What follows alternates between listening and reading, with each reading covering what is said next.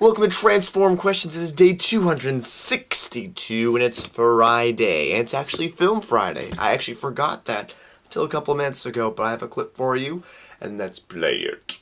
Thank you for not telling them that we. You're welcome. It must have been awful when they told you whose house it was.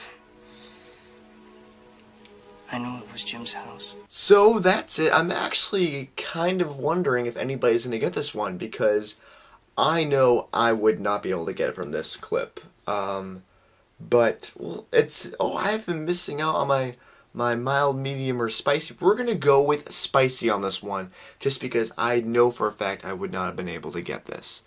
Um, so if you think you know what movie it is, leave it in the text box section below. And um, I'll see you guys for tomorrow. Tomorrow's question. Have a great, great night, and I'll see you then. Bye bye.